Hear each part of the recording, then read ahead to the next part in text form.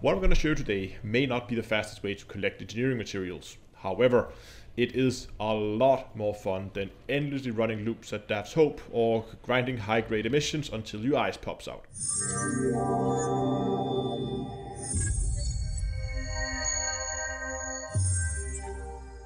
Today's video is brought to you by GameGlass. GameGlass allows you to take control of your ship from a tablet or phone. But not only that, it can also give you on-screen information about systems, targets and the market around you. So gone are the days where you have no room for all your key bindings or you have to alt-tab out of the game just to look up market data. Follow the link in the video description and try GameGlass for free. If you like it and want more shards or features, you can either buy them individually or subscribe to GlassPass. Use offer code DTA and get 5% on any purchase. Hello ladies and gentlemen and welcome back to Elite Dangerous with Down to Earth Astronomy.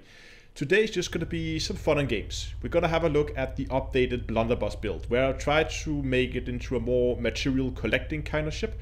And yes, you can do it in many other ships and you could potentially do ships that are even better or faster than the build I have here. But this build is a ton of fun and that's all this thing is really about. It is making something that's extremely fun to fly while still being relatively effective at collecting engineering materials by shooting down NPCs. First I want to show you how this thing flies and what you can use it for, and secondly we're going to have a look at the build itself so you can go and replicate it yourself. So when it comes to gathering engineering materials with a ship like this, it's very important that we are able to select our targets and that we can choose who we're going to fight and we're going to fight them one at a time. If we go into a site where they will aggress us, then we're going to get into trouble. That leaves us with two options. That leaves us with the pirate invasions and it leaves us with the hazardous resource extraction sites. The hazardous resource extraction site, you can find it pretty much any planet with a ring, almost. The pirate invasions, however, you have to go in here to the map, go over to uh, to the state tab, make sure you filter the system by state, and just quickly deselect everything here, like so, and then choose, oh, didn't get that one, then choose civil unrest, you can see right here in Shinrarta Dezhra, there's not that many of the systems around, but as you begin to scroll around, they do pop up here and there. So they're not too uncommon, not the most common state. But let's see, we have one down here. Fly around the system, and when you get within a thousand light years of one, you will see this pirate activity detected with a threat level attached to it. These comes in three different threat levels, 5, 6, and 7. Number 5 will have a majority of heavily armed ships, but very few will be engineered threat level 6, well, you will have more of them being engineered. And in this one that we have here, you will have most of the ships being engineered. And there's also a chance that they will spawn in a pirate-controlled capital ship.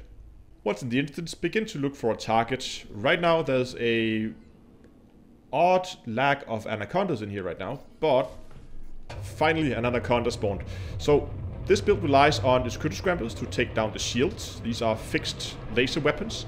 So we're going to try to stay behind him as I'm doing right now. And notice when I attack him here in a second how the other ships in the instance don't really care much while we fight him. And we can just fight this guy alone. So let's just put some pips around here. Forgot to put pips into my shields. We want a little bit of engines.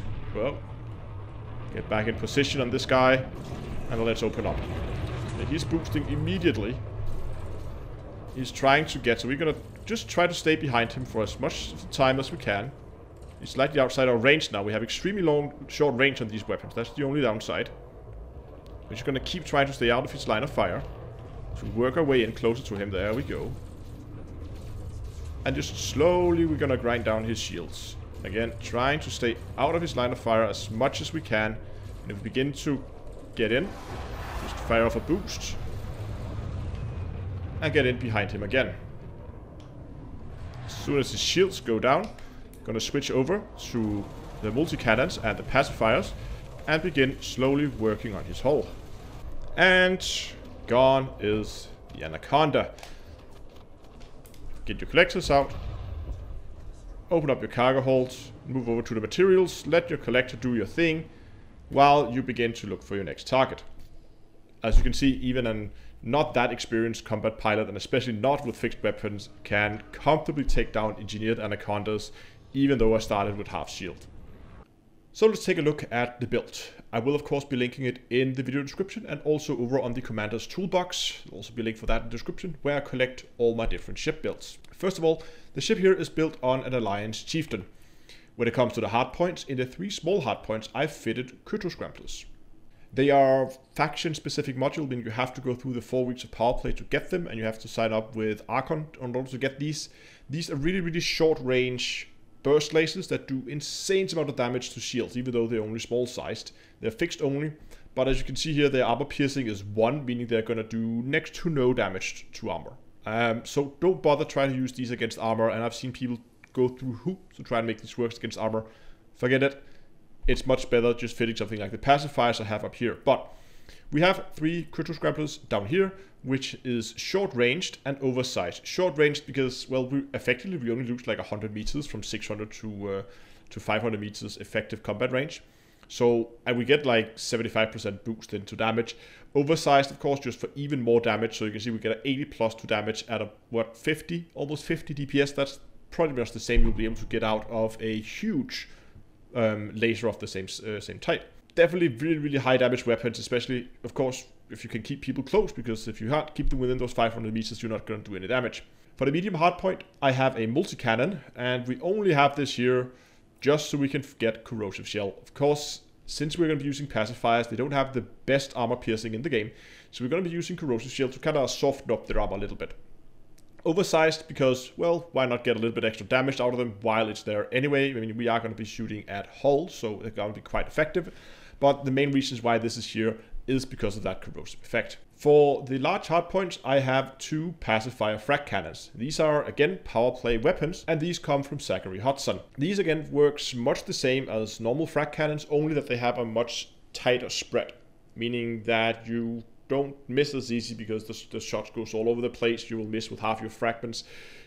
Much tighter spread, much more accurate than, uh, than the normal fragmentation cannons. And these can also do a ton of damage when you get up close and personal and begin to, uh, to hit the hull with these.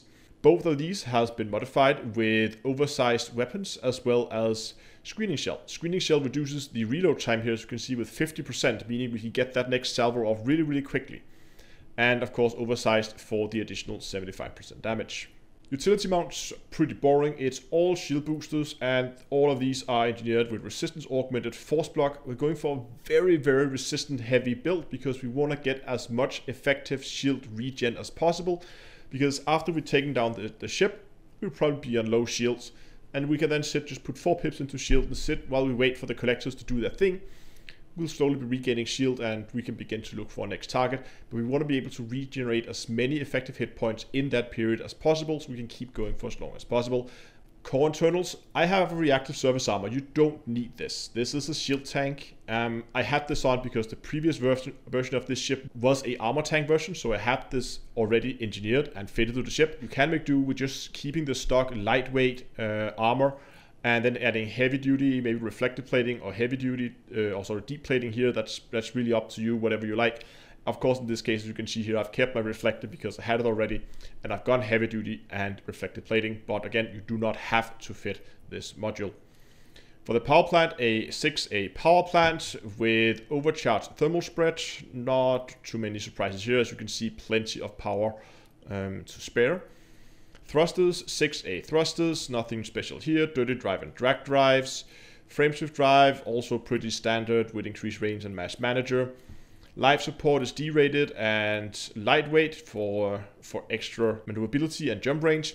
The power distributor, charge enhanced super conduit, you could go weapon focused if you really wanted to, but I am swapping the pips around quite a bit. So I've just gone charge enhanced super conduit for getting that maximum recharge. And finally, the sensors are also relatively low with D-rated sensors with lightweight on it. Then of course we come to the optional internals and we're going to start out with some Biweave shield generator, a 6C Biweave shield generator, thermal resistance to balance out those resistances and then fast charge as I talked about earlier. Let's get as much recharge in as we can so we get those effective hit points back while we're sitting looking for next target and collecting the materials.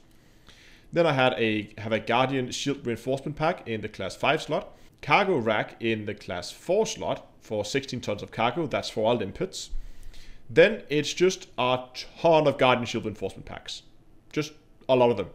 And then I have a 1B Collector Limpet. Now, this might seem a little on the low side, only having a 1B it's not that often your collector limpet will survive more than one fight. More than often, you will lose your collectors before you um, um, before you manage to kill the next target, whether that's due to uh, to point defense or, or splash damage, or I don't know. The collectors just have a tendency to die a lot. That's why I'm only running one collector. It takes a little bit longer to, to collect the materials, but I'm not running out of limpets um, as quickly as I otherwise would. Another option you have in terms of things you can change is you can swap around the cargo, and that's this uh, shield reinforcement pack. So you can swap this out to a class 5 cargo rack and then get 32 tons of cargo and then swap this down. You can actually see that the, the, shield reinforcement increase between the two is relatively low. When a class 4, class 4 here is 182, while a class 5, oh, sorry, yeah, 182, and this was this 215.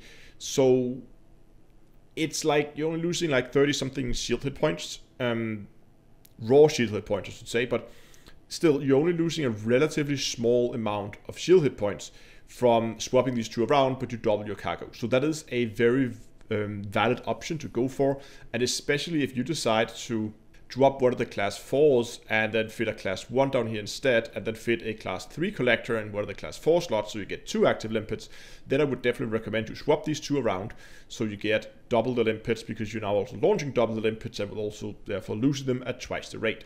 But that is the build. I really hope you enjoyed this video. If you did, give a like, subscribe, and until next time, I will see you guys in space.